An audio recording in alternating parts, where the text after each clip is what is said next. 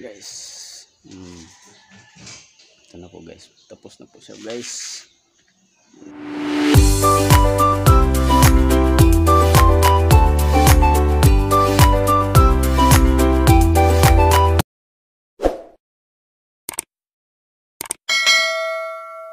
Hi guys. Kumusta po ulit? At sana po by God's grace ay nasa mabuti at maayos tayong kaligayahan ngayon kahit nasa gitna pa rin tayo ng pandemya. At ngayon guys meron tayong isang kliyente. Meron siyang ipapagawa sa atin isang pintuan ng kulungan ng baboy. So yun po yung gagawin natin ngayon guys at tulungan niyo po ako ngayon guys sa paggawa ng pintuan para sa kulungan ng baboy. So ngayon po guys ito po yung daladala natin na mga gamit no? So tingnan po natin yung laman guys. Yan po guys. Ano po na laman dyan? So, nandito po yung ano? So dami guys. Dito po yung welding machine natin. Grinder. Yung meron din tayong ano metal saw yung pang cut ng metal no? Uh, yung iba pang mga gamit natin na pwede nating gamitin para sa paggawa ng portahan ng o pintuan ng kulungan ng baboy. So ngayon po guys so punta na tayo ngayon dun sa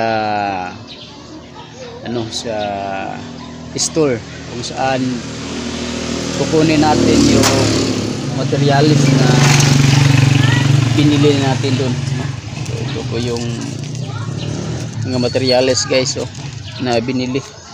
So tatlong piraso ng kabilya number 10 no? At isang cutting desk at 1 4 kilo na welding rod no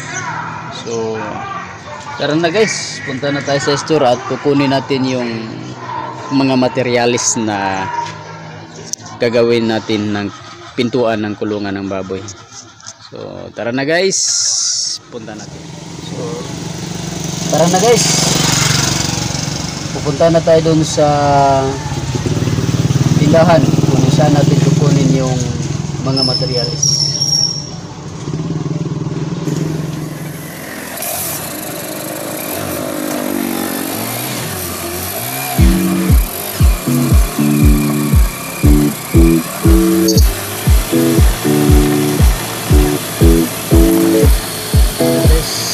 nakarating na tayo sa store kung saan natin kukunin yung mga materialis na gagamitin natin para sa ano sa paggawa ng isang kulungan ng baboy o pintuan ng kulungan ng baboy. So tara guys tanungin natin kung nandito na ba yung item guys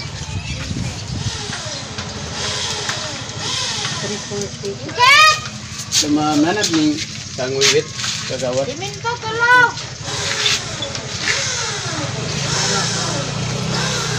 apil lang ang kabilya mo ni siya ma'am Ah, yan ni Kwan eh. Kagawad. Oo. Oh. Baba nagtiyapan. Baba, baba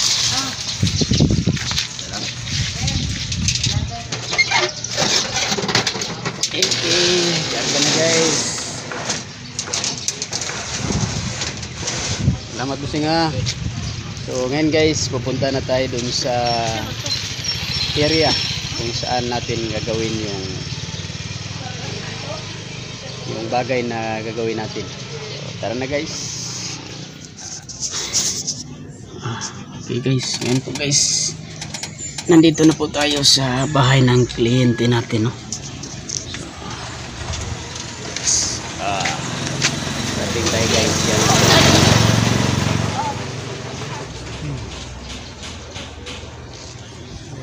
Papasok tayo sa loob guys. Pakita lang natin mamaya yung gagawin natin. Kaya, bye bye. guys, nandito na tayo ngayon guys sa area kung saan tayo gagawa ng pintuan ng kulungan ng baboy. So ito guys, ayun guys. Okay guys, yan po yung gawin natin guys. Yan po yung kulungan guys. At yung kabila guys, meron din dong baboy guys. Yan guys, malaking baboy guys. Manakay na yan guys. So ito po guys. Ito yung ginawa natin nung una. So yan po guys. So ngayon gagawa tayo ulit. So una guys, yung gagawin natin kunin natin yung sukat ng area. So tayo ng sukod guys. Kunan natin ng sukat yan guys. Gamitan natin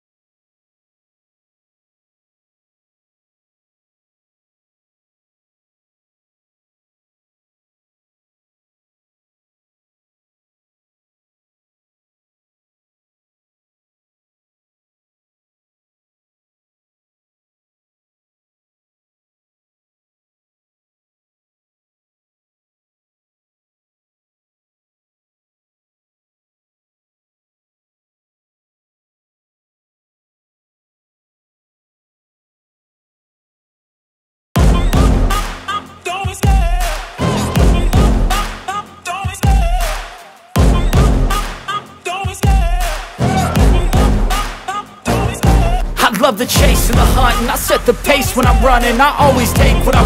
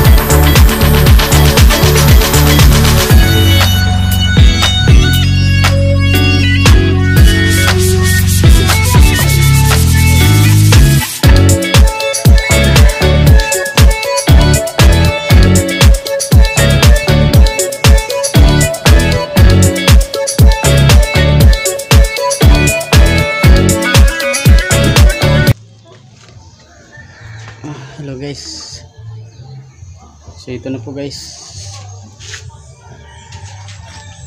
Ito nyo guys. Ah.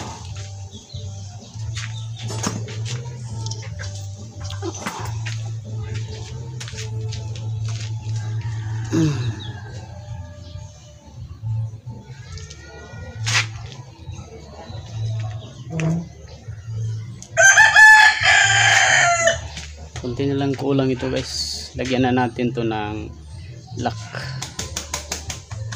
Oh.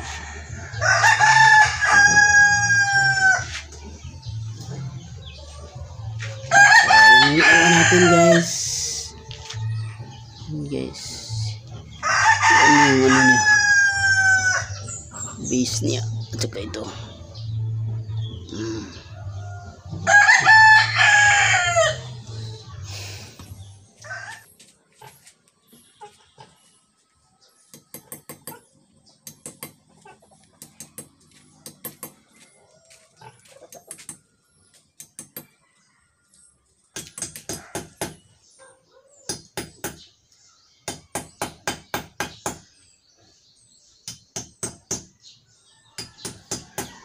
Hello guys. Yan guys, tapos na tayo guys sa ginawa natin na isang pintuan ng kulungan ng baboy. Ah, Ito guys.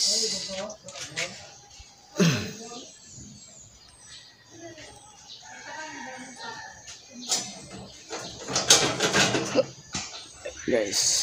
Mm. Tapos na po siya guys. Yan po guys.